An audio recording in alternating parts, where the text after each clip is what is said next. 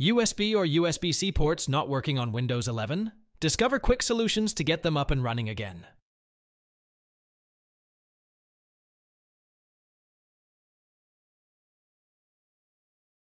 Right-click on the Windows Start button. Select Device Manager from the list. Expand Universal Serial Bus Controllers. Right-click on Composite Device. Choose Update Driver.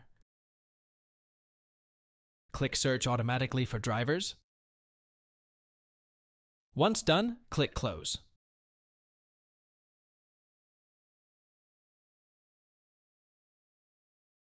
Alright folks, let's tackle the next step to fix the issue. Ready? Here we go.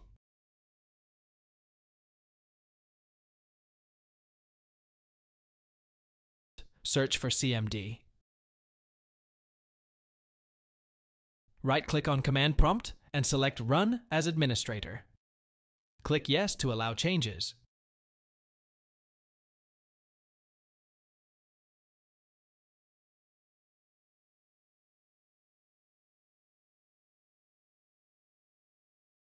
Copy the command from the video description, paste it into the command prompt by pressing Ctrl plus V and hit Enter.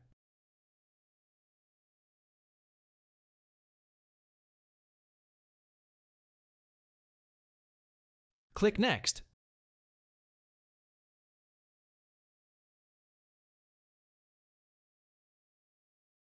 Then apply this fix and follow the prompts by clicking Next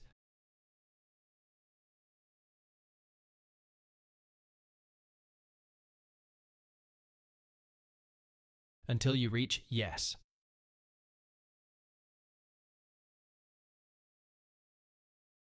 Alright folks, let's tackle the next step to fix the issue. Ready? Here we go.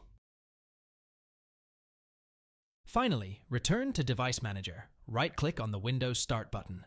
Open Device Manager again.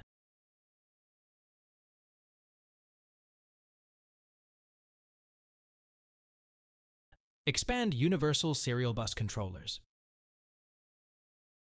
Right-click on USB Root Hub, USB 3.0.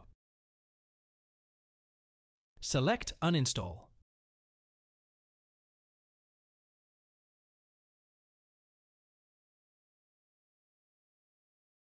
Go to Action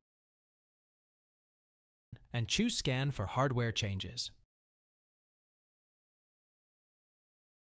Right-click on Windows Start and restart your PC.